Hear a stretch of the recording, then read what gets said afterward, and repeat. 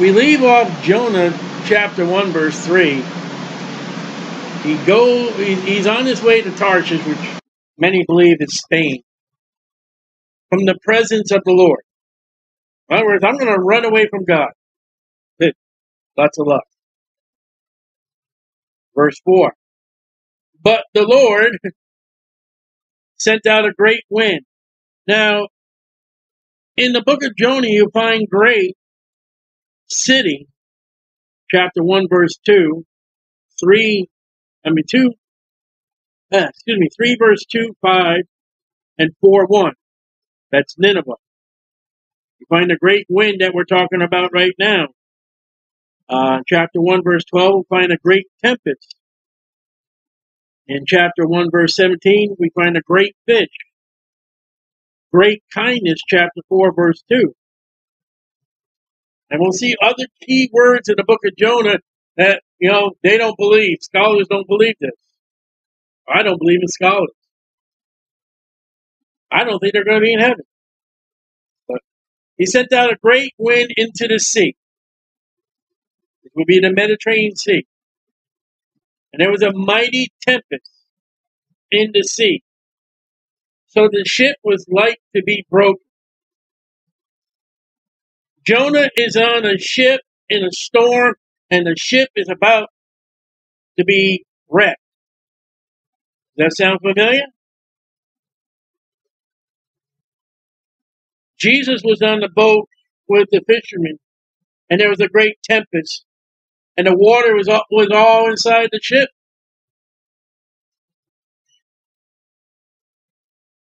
The mariners, the shipmen, the seamen were afraid. Now, this has got to be like the disciples, this has got to be a storm of all storms. Like the, the, uh, the ship storm that uh, Paul was in. If the seamen are afraid, if Peter, James, and John, professional fishermen, are afraid, now we understand the book of Acts. Luke was afraid. He's a medical doctor. And cried every man unto his God, small g. And this area, this would have been Poseidon, Hydros, or Cato. Notice the word hydro.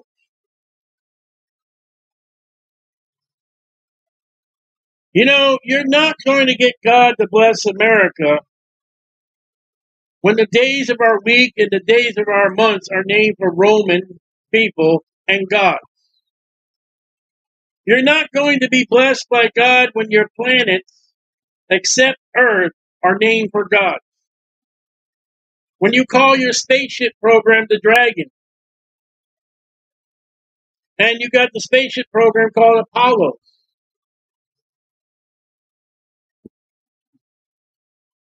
You want God to bless you. You want a revival in America. You got to rename everything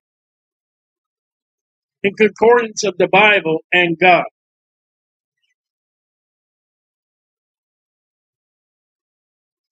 That ain't going to happen.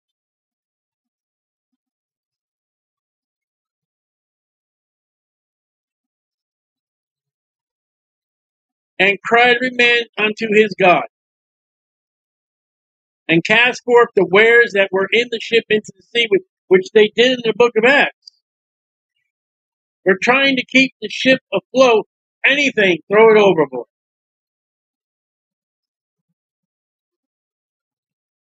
Because the less weight in the boat, the boat will get more buoyant. And when it comes down to it, the cargo or your life, bye bye cargo.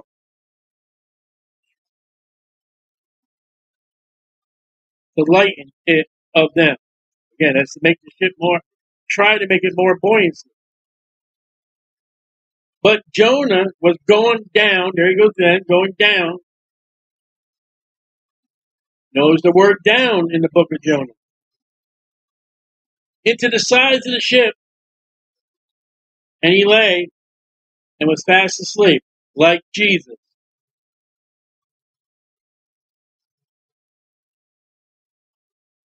Jesus is asleep on a pillow. And the disciples and the fishermen are all in a panic. Now they didn't call on the G-O-D, small G-O-D. They called on the big G-O-D. Wake up, Jesus. Come on, Jesus, wake up. We're going to die.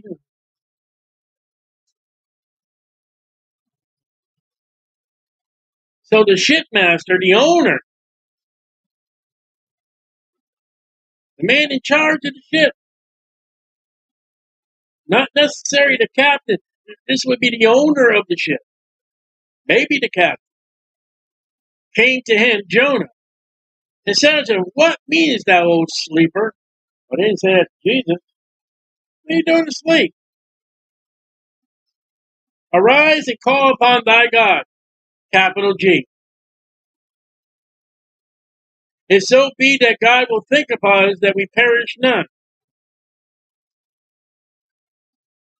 Hey, everybody's praying to their God. What are you doing sleeping?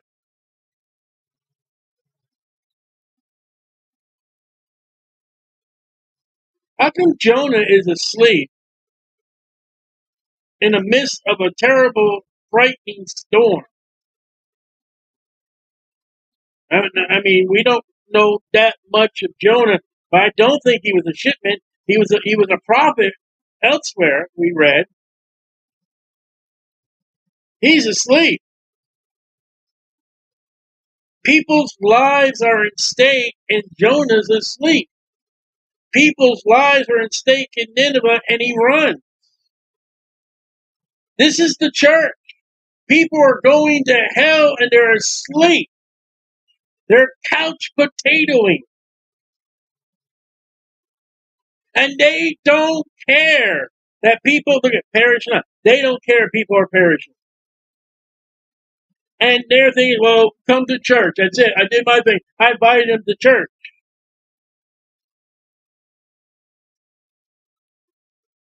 Sleepers don't get rewarded at the judgment seat of Christ.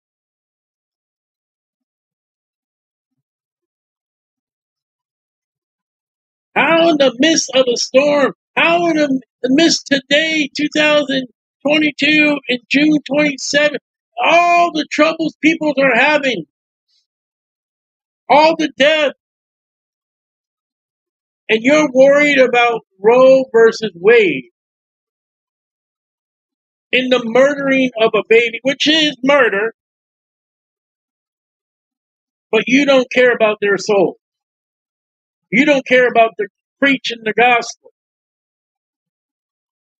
And when the preachers preach this weekend about Roe versus, Amen, ah, glory to God, standing ovation. What happens if, if, if, if they were to preach about your sin? You wouldn't be so loud on your knees asking God for repentance. You would figure Jonah be out on the deck right now. Oh God, I'm sorry. If you get me to land, I will go to Nineveh. No, he's asleep. The church is asleep. Because they don't care, and Jonah doesn't care.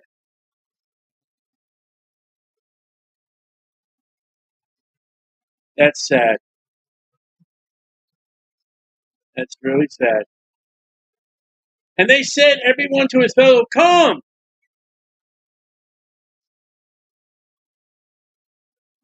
Jesus said, Go. Let us cast lots. Again, this is the drawing the straws. The man gets a short straw, the eight ball, the black ball, the blue ball, you know, paper, scissors.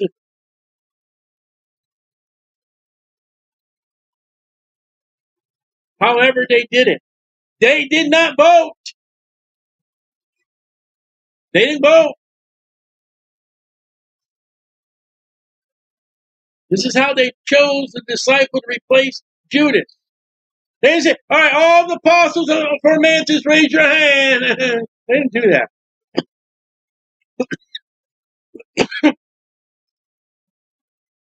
that we may know for whose cause this evil is upon us. They have an idea somebody's causing this evil. So they're going to say, okay, let's find out who. Now there there are mariners praying for gods, and they're going to reach out to their gods, and some are probably thinking black magic, island magic. I mean, they've been to islands, voodoo, all kinds of realm of beliefs and, and draw up the spirits, the Ouija board. There's only one man on that boat for God, as far as we can see. And the evil is not a sin. Evil is here's this big storm. I told you before, evil does not have to be sin. Evil could be the consequence of this. What's the sin? Jonah ran away from God. And Jonah's sin is hurting other people. They have lost money with the cargo overboard. Think about that. Christian, your sleeping is costing the lives and the care of the people and family and friends around you and your church. You're throwing the gold, silver, precious stone overboard.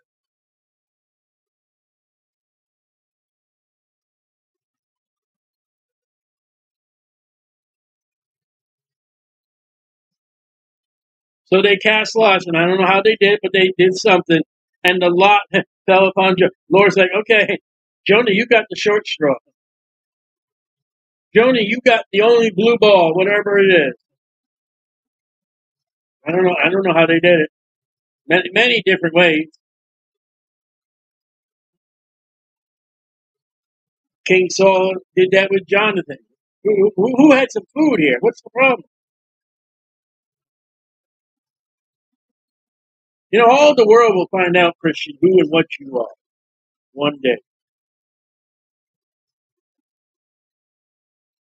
Then said they unto him, Tell us, we pray thee, for who causes this evil upon us? What is thy occupation? Whence comest thou? What is thy country? And of what people art Now, remember, the storm is all around them, and they're playing 21 questions.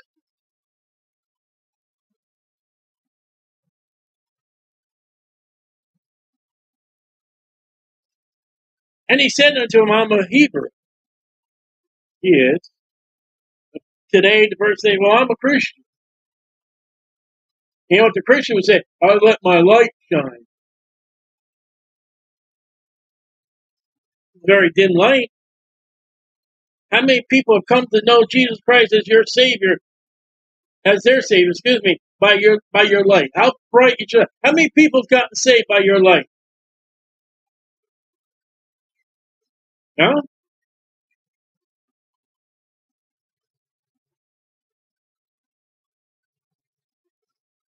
Jonah's putting on the spot. I fear the Lord. really? What on earth are you doing on that ship, buddy? If you feared the Lord, you'd be on the way to Nineveh.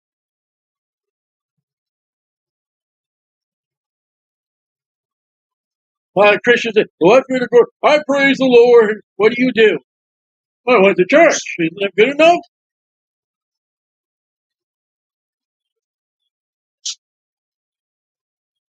while you're causing catastrophe all around. Your sin is wrecking your family. It's wrecking your job. You're not witnessing. It's causing people to be perishing. I'm a Christian. I fear God. And the other one, I go to church. half the churches today, three quarters of churches today, God wouldn't even give you a dime. God would give you a dime, expect a dollar back. I fear the Lord. Who brought the storm, Jonah, and who's asleep? Everybody's out on the dead train to their gods. What are you doing, Jonah? You know what Jesus was doing with that storm? Jesus did not fear. He's asleep. I know we're going to the other side. That's what he told the disciples. Get in the ship, let's go to the other side.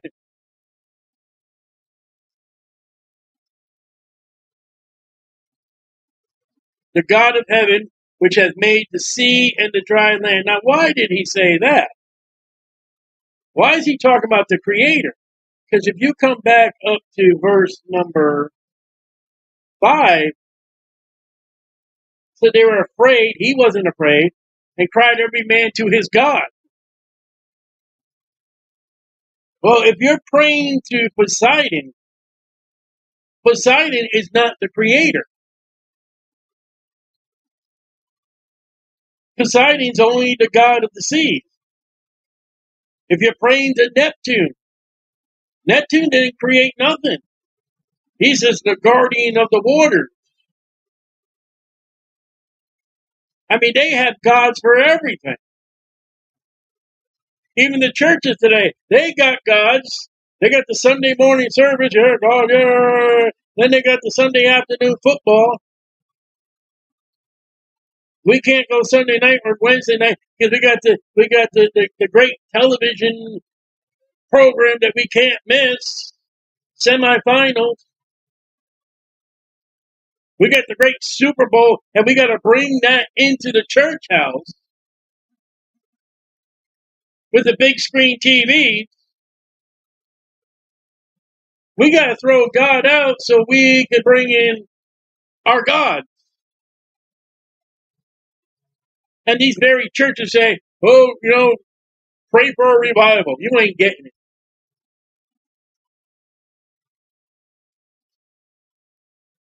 You ain't getting it. Not when you have idols in your heart and paganism in your church. So Jonah's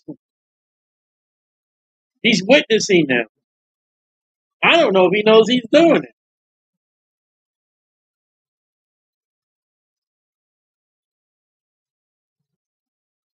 So he's I'm a Hebrew. I fear the Lord, that's Jehovah, God of heaven, the creator. He made the, sea and the dry land and this big storm. Don't forget that, Jonah. Then were the men exceedingly afraid. They're even more afraid. They are afraid of Jehovah, the creator.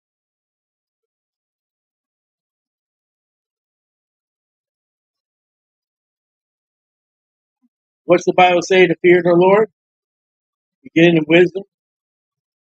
That's important to realize they were exceedingly afraid. Who are they afraid of? They're afraid of Jehovah, the God of heaven, the God that sees in the dry land.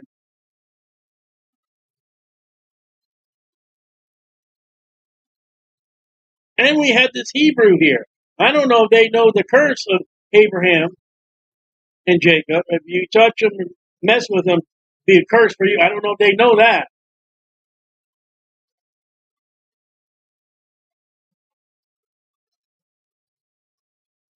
And said unto him, Why hast thou done this? Uh oh. For the men knew that he fled from the presence of the Lord. Where do we where do we start today? Verse three. He fled from the presence of the Lord. When he bought his ticket to Tarshish, why you want passage on our ship? I'm getting away from Jehovah. You know what that was to them at that moment? Oh, okay. As long as you had the money. I'm fled from the presence of the Lord because he told them. Where do you read in verse 9? He told them then.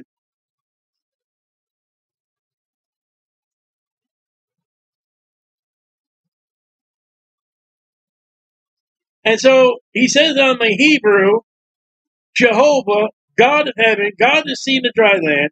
The men were afraid. And the next question is, why have thou done this? And it's not, they knew that he had fled from the presence of the Lord. They're saying, why did you do that? you buying that ticket, telling us you, you are fleeing the Lord, got aboard this ship. This is why this is all happening.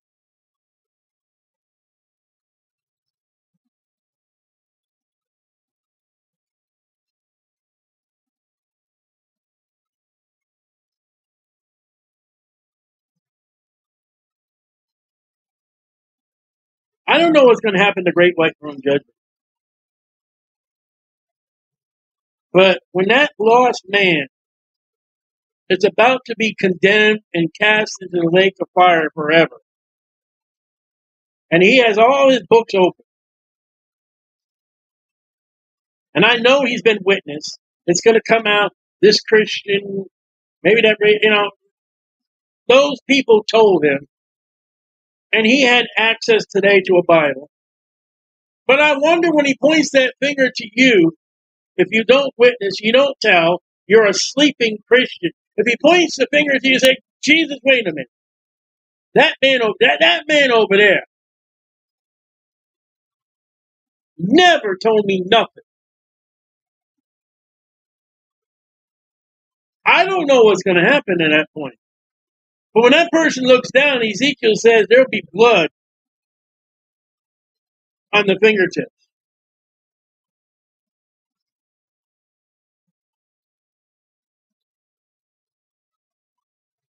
And the only way you get blood in your fingertips is when you've been actually involved in killing somebody.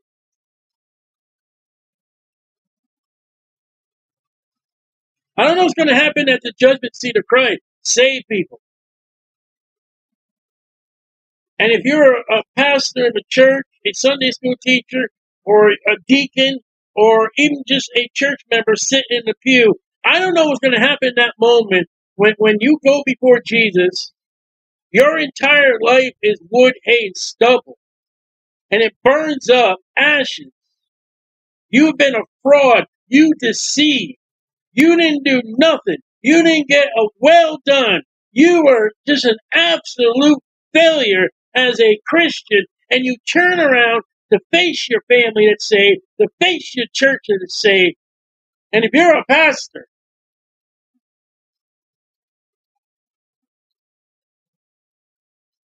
if you're a Sunday school teacher, and you got to turn around, because I think we're all going to be judged by family and by churches. And you turn around, what, what is that reaction when you've been caught with your hand in the cookie jar? You're a liar. You're a fraud. But you made everyone think you were the best Christian around.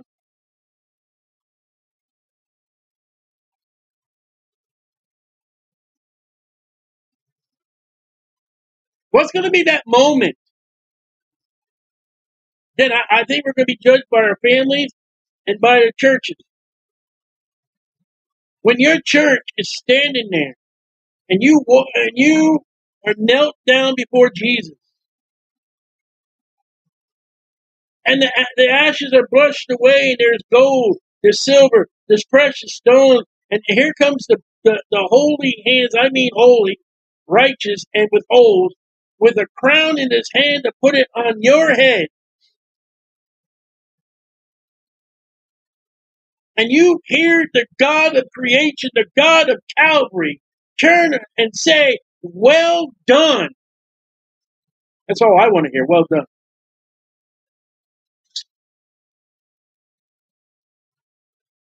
And a whole bunch of children from a missionary that you support come running up and hugging and kissing you, and you turn to your church that hated you, that despised you. You were that wicked Christian. You were that Christian. Oh, the King James Bible. Oh, he preaches on the street. Oh, look how bad he. Oh, Easter. He hates that, and he turns around, looks at the congregation.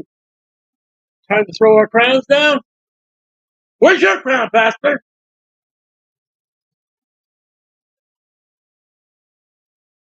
Where's that phony deacon, Pastor? Where's all the people you invited to the church, Christians?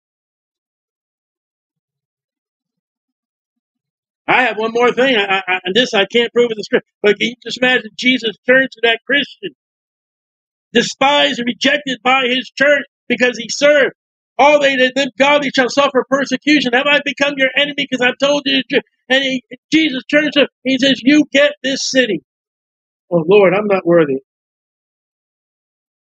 And he turns to your church, your pastor, but you guys are under his authority. But, Lord?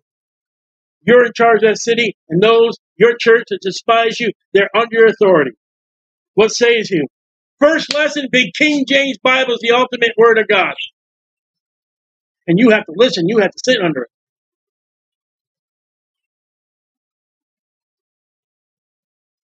Jonah's asleep. Everybody's in despair. Everyone's, we're dying. We're losing everything. Just to stay alive.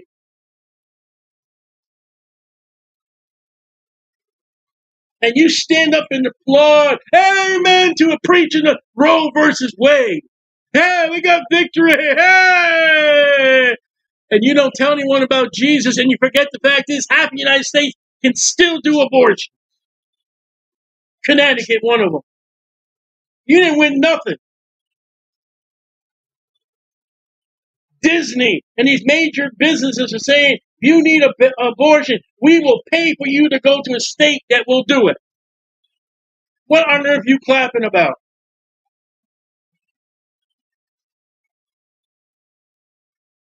And then when you get a man that preaches on the street and, and you see it, there's a car pulled over the side of the road and there's someone talking, not one person will say, Hey, what was all that about? That's, you didn't want to hear about Jeff. Jeff was unsure about Jesus. Jeff really didn't like the Old Testament. Jeff had different ideas of believing. Jeff didn't even know there was a church building there, which had nothing to do with nothing. But by the way, a lot of people in front of the church I sit, I say, look, I say something about a church right there. They didn't even know there was a church there. You're doing a great job. They don't know you're there. They don't care you're there.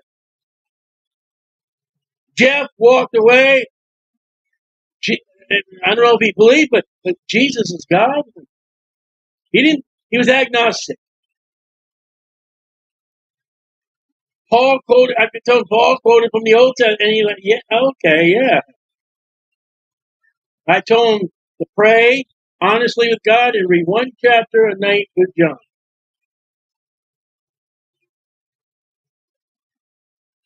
I told my daughter last night. Been out there many times. Been summers very very hot. I've had two, I had three, four people pull over. One guy gave me a good bottle of water, Zephyrhills, and a sandwich. I, I so I didn't eat the sandwich. Thank you very much. I've had somebody pull over and say, you know, I say, I got water right here. That guy last night, he had a beer. He goes, he goes I'll get you some water. I'll get you anything you want. I'm like, no, I got water here. With my church right there, I haven't had one person in my church come out and check on me. And then when, when I'm sitting there, and, you know, it was hot and free. I'm sitting there and I got my bottle and I had to have the oxygen.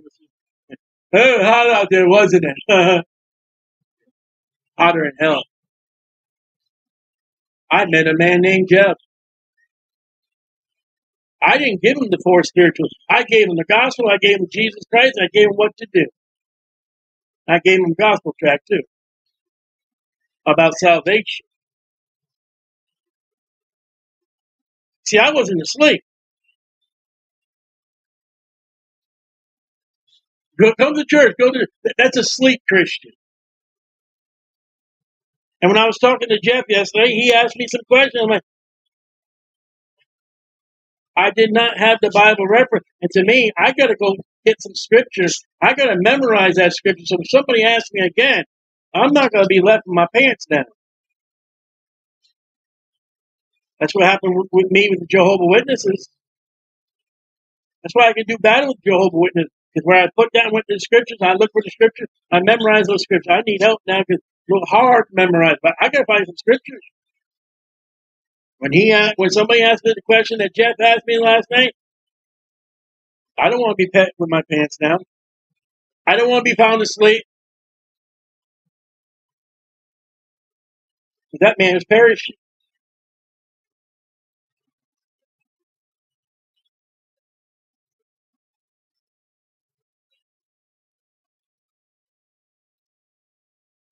Invite him to church. All right, let, us say I invited him to church last Sunday.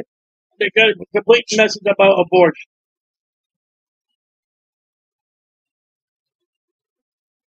How bad America is with abortion. The next week will be how great America is. Shish Fourth of July, blah. That's America.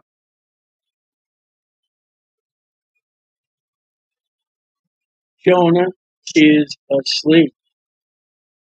Everybody's in turmoil. The shipmaster came and well, you know what the worst thing is when people are turmoil and you say you got your light that shines, they got troubles and problems. They don't come to you. They don't know who you are. I've had people I worked with. I've had neighbors. I, I I had people I associated with myself. They knew who I was. They know what I was. And when they had troubles and problems, they come up to me quietly. I need a prayer. No, I'm sorry. You know, I, I was making fun of you with the rest of the guys there. I, I got something serious in my life. Can you? I'll break down right then and there. Let's pray now. Really? Yeah. You got light that shines, but they don't know you what that light is. It could be a cigarette light. It could be a bug light. Jonah could say, "I let my light shine down deep inside the ship," and that's not where you need the light. They need a lighthouse.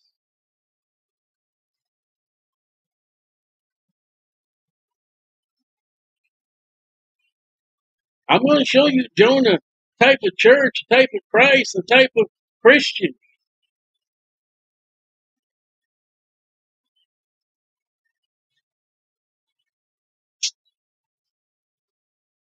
He said he would. He, he said, "Uh, "I'm a Hebrew. I'm a Christian, backslidden Christian," and they knew it.